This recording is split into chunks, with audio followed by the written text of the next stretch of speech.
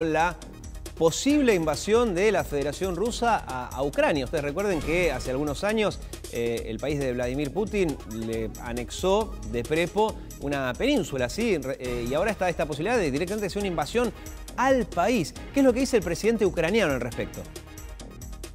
Ми про все знаємо, ми до всього готові, але робимо все, аби врешті нам це не знадобилося. Робимо все для вирішення дипломатичним шляхом робимо все для настання миру в Україні.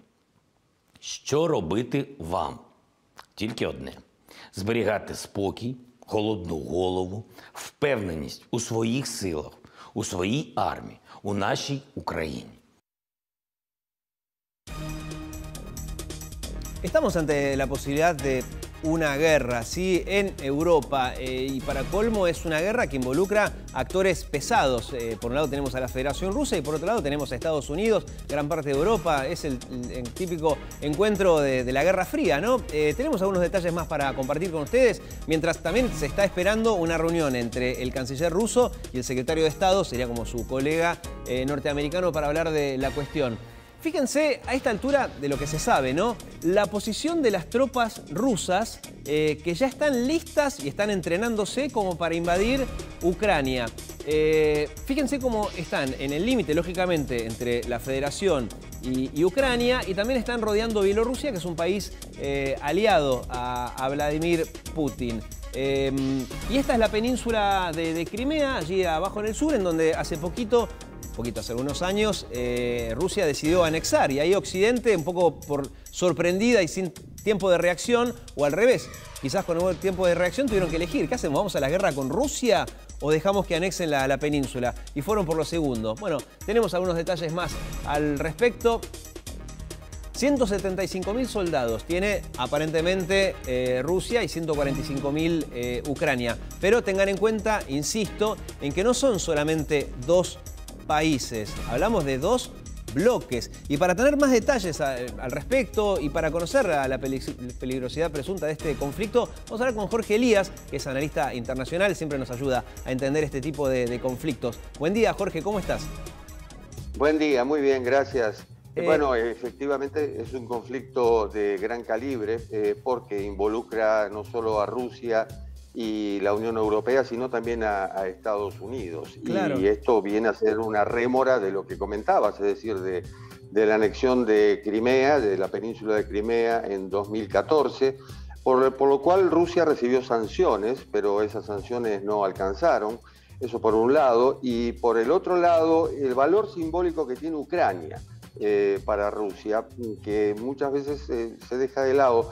Eh, Ucrania es un país que está eh, dividido en dos, es decir, eh, tiene una etnia ucraniana que es la de Kiev, que es la que ha votado por formar parte de la Unión Europea y de la OTAN, y tiene una etnia rusa que es la de Donbass, la región de Donbass, que es la del sudeste, digamos, la que limita con, con Rusia y que es la, separatista, es decir, la, la que continúa en guerra desde 2014 con combates aislados y demás.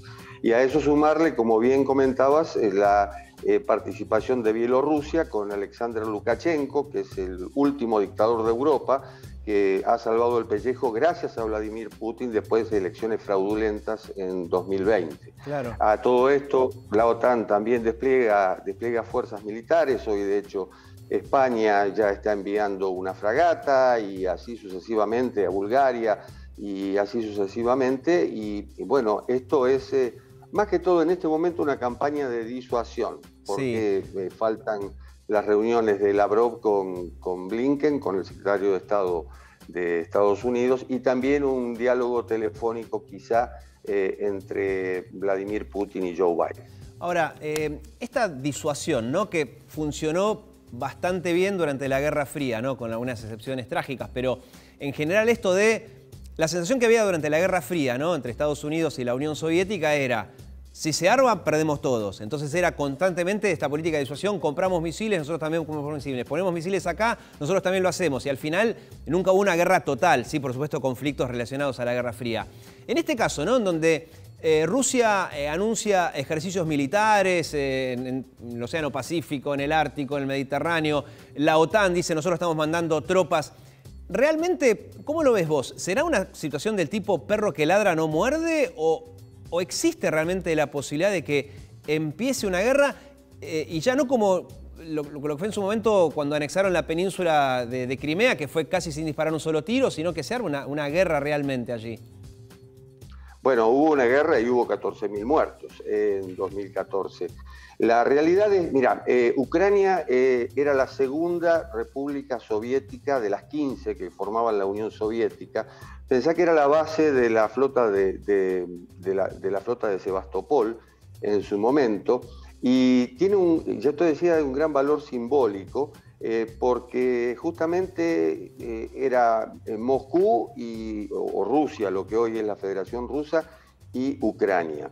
Eh, en 2004, la, OTAN anexó países como Lituania, Letonia, países que pertenecían a la órbita soviética.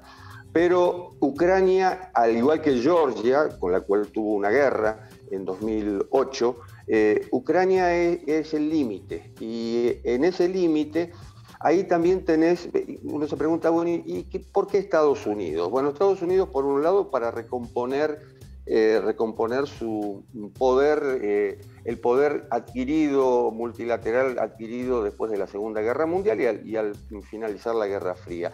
Pero fíjate que en la campaña de Estados Unidos, en la campaña electoral, Donald Trump presionó a Zelensky, a quien veíamos al presidente de Ucrania, para que investigara a Hunter Biden, el hijo de Joe Biden, del actual presidente, que trabajó en una empresa de gas Burisma y se habló de una trama de corrupción. Mm. Antes, Trump tuvo que desplazar a Paul Manafort, que era uno de sus, de sus eh, colaboradores, por haber colaborado con el presidente que cayó después de Yanukovych que cayó después de la anexión de Crimea.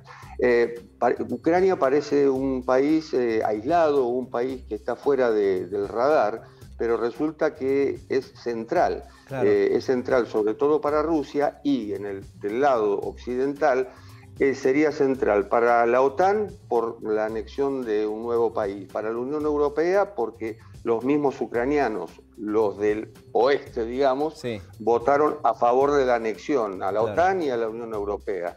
Y por el otro lado tiene la división interna de los de Donbass, que son los que mm, prefieren seguir perteneciendo o, estar en la órbita de la ex Unión Soviética. Ok, me queda claro entonces que eh, Ucrania tiene un valor simbólico para los dos lados, o sea, en su momento cuando la OTAN se expandió, robándole, por así decir, este, repúblicas que antes pertenecían a al ámbito de la Unión Soviética, pero claro, robarle, entre comillas, Ucrania sería un golpe muy duro para, para Vladimir Putin y por lo que tengo entendido, aquellos que añoran el poderío de la Unión Soviética, bueno, lo que más les dolió fue perder justamente Ucrania. Ok, entiendo el valor de Ucrania. Mi duda es, ¿con qué argumento Vladimir Putin puede invadir ese país. ¿no? En su momento con la península de Crimea fueron más por el lado de no invadimos, eran ellos los que querían ser rusos y a la larga en los hechos terminó siendo una realidad. Pero en este caso, ¿qué argumento obtiene Vladimir Putin? O al revés, ¿precisa un argumento o lo va a inventar y lo va a hacer igual?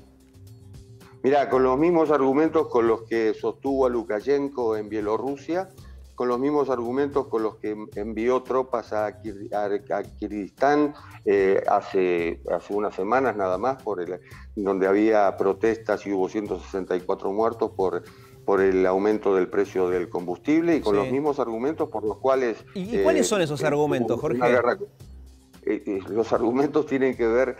yo no digo con, el, con la nostalgia de, o la morriña, como se dice en gallego, mm. del poderío soviético, pero sí por la pérdida de territorio y, e inclusive también hay cuestiones comerciales. Vos sabés que hoy Ucrania es el principal socio comercial de China, cuando Rusia tiene, eh, digamos, una, una suerte de alianza con países como Armenia, Kirguistán eh, y otros, eh, en los cuales Ucrania no entra porque Ucrania prefiere negociar con, con China por un lado, más allá de que sea aliado de Vladimir Putin, Xi Jinping, y con la Unión Europea por el otro. Pero mi duda, Jorge, es, eh, ok, entiendo que el, motivo que tiene Vladimir Putin, si le encantaría que mañana Ucrania sea parte de la federación, pero al mundo, ¿qué le dice? ¿Estoy invadiendo por eso, porque añoro la Unión Soviética, o, o tiene como algún, alguna justificación para esto?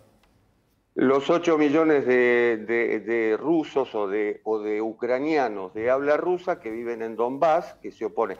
Ucrania tiene 42 millones de habitantes. Bueno, 8 millones están diciendo, le están diciendo, vengan, Crimea es, parte de esto, vengan y eh, no permitan que Europa eh, se apodere de Ucrania. Y del otro lado tiene una proporción aún mayor que votó en elecciones inclusive para pertenecer a la Unión Europea y pertenecer a la OTAN, pero, a ver, estamos hablando de un presidente que lleva añares en el poder y que va a seguir añares en el poder porque reformó la Constitución para seguir hasta 2030. Claro. Eh, entonces, eh, los argumentos a veces, los argumentos que podemos esgrimir de este lado del mostrador, del lado occidental, del otro lado son totalmente, son totalmente diferentes y tienen que ver con el nacionalismo por un lado y por el otro lado, insisto, con eh, la pérdida de territorios que antes conformaban la Unión Soviética, más allá de que Putin no quiera volver a la Unión Soviética, no es eso, eh, pero sí es, es una cuestión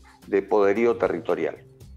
Jorge, aprovechando tu visión internacional y bueno, en un contexto geopolítico complejo entre Rusia y Estados Unidos, eh, ¿qué rol crees que, puede jugar Argentina? Digo, la visita del presidente Alberto Fernández, que va a estar en una recorrida tanto en China como en Rusia, ¿crees que puede llegar a interferir en, lo que es, bueno, la negociación con el Fondo Monetario Internacional, o sea, la posición de Argentina en términos globales? No, me parece, primero no estaba prevista, es decir, estaba previsto el viaje de de Alberto Fernández a China con motivo de los, de los Juegos de Invierno que boicotea Estados Unidos eh, y surgió ahora la posibilidad de una reunión con Vladimir Putin. Pero, a ver, eh, Argentina, eh, Argentina como actor global no, no, tiene, no tiene ningún peso específico. el peso específico, mira, hubo un congresista demócrata, Tim O'Neill, que decía, Tip O'Neill, que decía toda política es local. Y lo que, lo que hace Alberto Fernández es política local, es decir, no, no, no, está haciendo política internacional. Eh, no es que Blinken va a anotar a Alberto Fernández va a Rusia, entonces está con Rusia o está con China. Eh, no es así. Es más, es más la necesidad de Argentina de recomponer y sobre todo de, a ver, de enfocar su política exterior, porque no puede ser que en Ginebra en el Consejo de Derechos Humanos de Naciones Unidas acompañe las sanciones contra Nicaragua, Venezuela eh, y Cuba por la violación de los derechos humanos y en la OEA, por, una tirria que tienen con, Luis Almagro, hagan todo lo contrario. Entonces, eh, es un país realmente muy difícil de entender en cuanto a su política exterior y no, no creo que tenga, que tenga en este caso ninguna, ninguna injerencia en, un conflicto de, este calibre. Clarísimo. Jorge, gracias por tu tiempo, ¿eh? como siempre. Muy amable. Un gusto, encantado. Bueno, lo mismo decimos nosotros. Vamos a una pausa, así nos queda...